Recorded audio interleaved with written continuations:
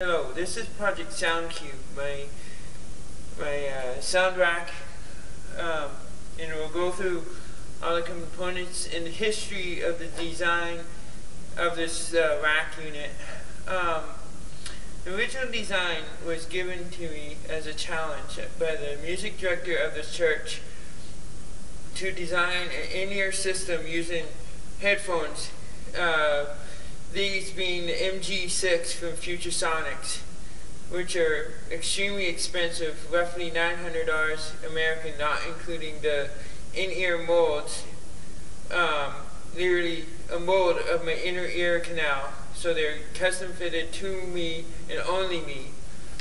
Um, this system started out um, with two challenges. The fact that I needed to be completely mobile, and the second fact that I had never actually run a conga system through a soundboard, so uh, I needed mics, I needed cables, I needed a way to connect that to a sound system, I needed to be able to hear what everyone else is doing, I needed um, basically everything. I needed the knowledge to connect everything together to be able to control it, to be able to see what was going on, where it needed work, where uh, the problems are, how to correct them, how to mitigate issues, how to make this system so flexible that I could use it in any environment that I wanted to use it, either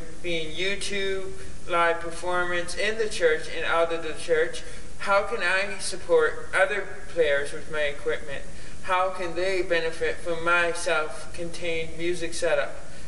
And so this all came together and it's a mix of DBX hardware, a mix of Shure hardware, a mix of LP conga mounts and other pieces of equipment.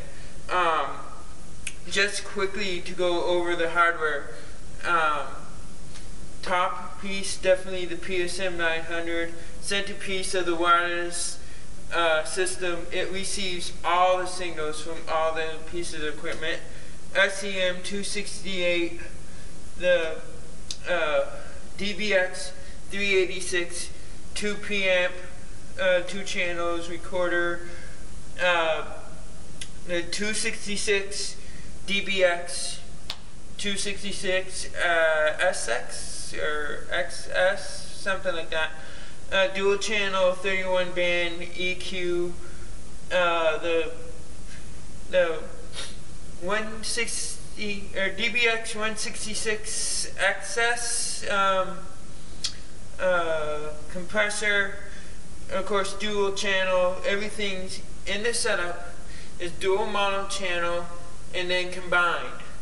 So basically Channel 1 contains all of my drum sounds, and all Channel 2 contains the, the sounds from the band and from the sound system, and they're combined using a piece of software inside the PSM 900 uh, with conjunction with my body pack for the PSM 900 called MX or mix mode, where the two signals are taken left channel right channel and mixed together and sent to me as a mono channel. So the whole system is mono channel. It's all wired to be line level. Um, like coming into this box, it's um, my 268, my SCM 268 from Shure. It's mic level converted to line level, outputted line level and so I'll quickly go through the, the, the gain structure of this box. So channel 1 starts with the mics, which are Shure uh, Beta 57As and a Shure uh, SM27, which is the large uh, overhead that captures most of the sound for the cymbals, the hand or the shakers and stuff like that. I've just recently added uh, SM, or no, either SM or Beta um, 58S, which is the their vocal mic with a switch.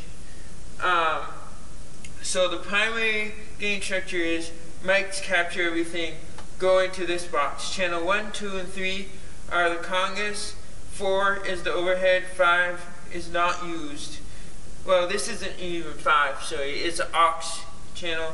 This is master sound, and that is routed into uh, channel 1 of my uh, tube preamplifier and then it's run into the compressor channel 1 then equalizer channel 1 which visually speaking you might be going why are you organizing the equipment in this order um, couple reasons one the manual for the two or for the 166, 166 compressor I believe does state please keep it away from electrical interference hence the antenna the PSM 900 uh, it's set for 10 milliwatts, but can also input or output at, I think it's 25 or something like that, and then 50.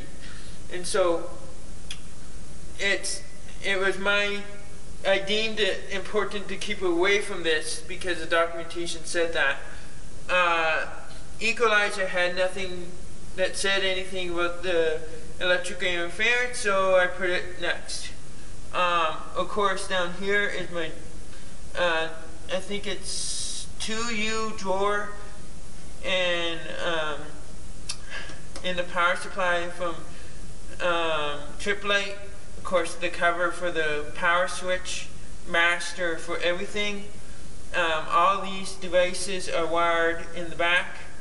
Um, this one is for um, uh, phantom power injector which is powering the SM27 and this is for this M audio 8 channel R I forget what the actual name of it but it's an A audio or M audio sorry 8 channel recorder.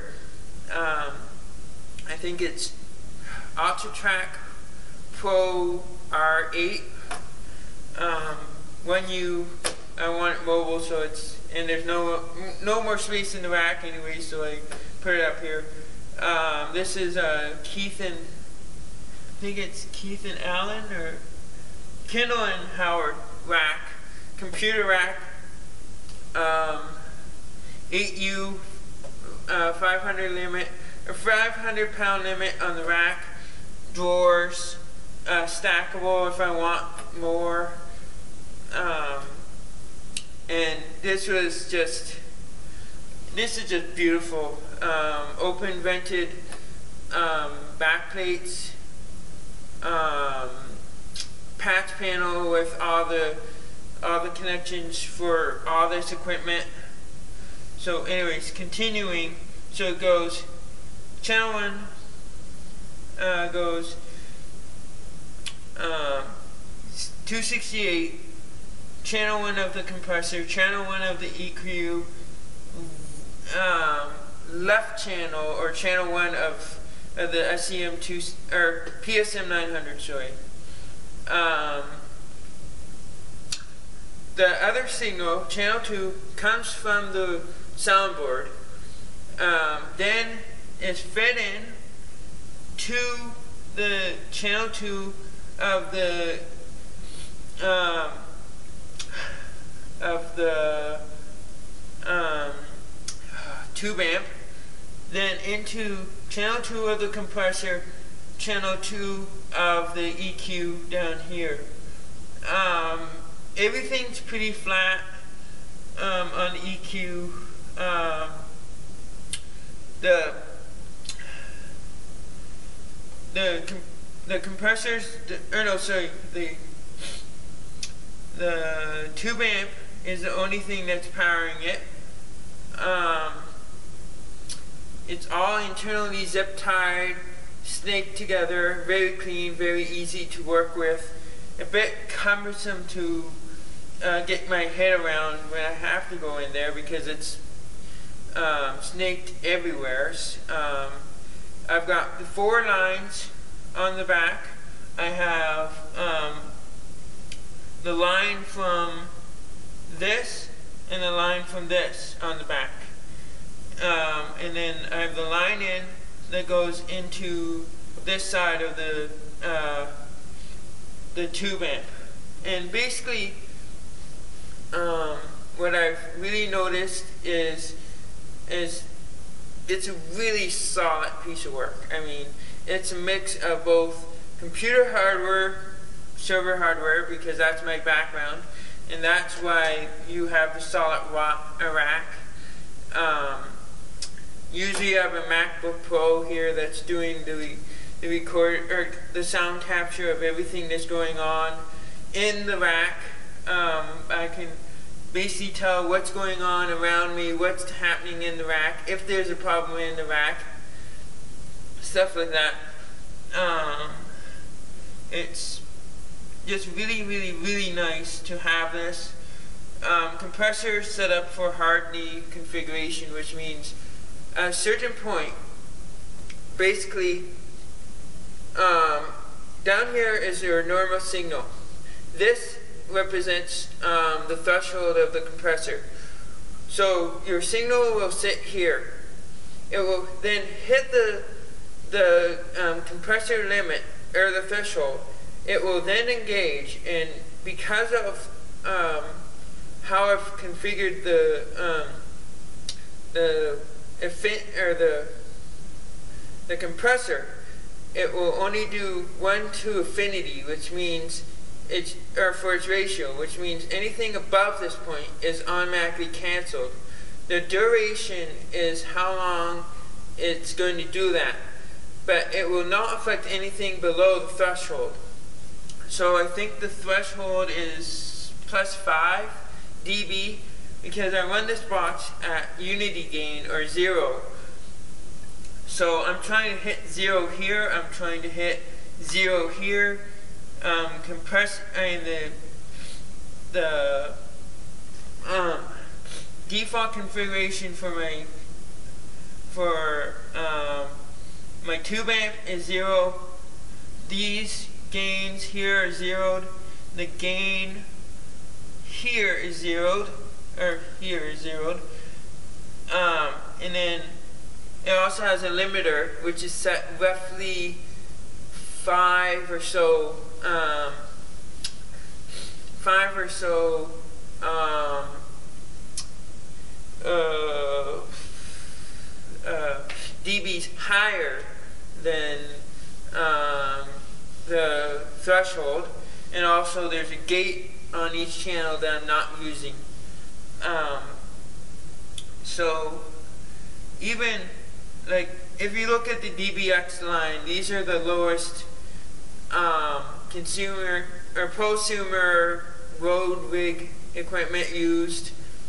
Um, and they are well, or they're extremely capable. I love them, I love them, I love them. Um, any complaints about it? Not really, just mostly. No, there's no complaints about this box. I just absolutely love it. Um, um, there's it's castered. Um, they're not locked casters, so they this guy can roll it over if it's not on a flat surface, but it's not really been an issue. Um, yeah, so this is my uh, Project Sound Cube. So, of course, the eight channels for my uh, MRU unit um, Fastback Track uh, 8R, uh, Ultra 8R, uh, the PSM 900 unit, the SCM 268, um, the 231, or no, sorry, the the um, 386 under it, the dual tube amp. Um, and under that is the two 31S dual 31 band uh, third of an octave. Um, EQ under that is your uh, DBX 166XS uh, dual channel tube amp. Um, and also a, um, a gate compressor uh, limiter of course, the Tripp Lite power supply, or the power bar, and the um, drawer. And then, of course, the casters and everything. Um, yeah. Here's the four um, four channels for the SCM268. Um, here is the sound in, the sound out, uh, sound out, and this is another sound out so everyone else can hear what I'm doing. So these two are going to the um, M audio unit.